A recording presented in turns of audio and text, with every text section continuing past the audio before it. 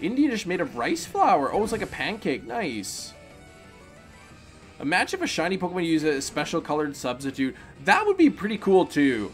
I picture a shiny substitute. Pineco Shiny! 84! Shiny Pineco at 84! Nice and early. Woo! You guys are going crazy in the chat. You guys, I love you guys. Thank you so much for the support. Thanks for hanging out. Um, we gotta catch this thing, don't we? Even gas prices can't stop the shiny train from moving. That's right.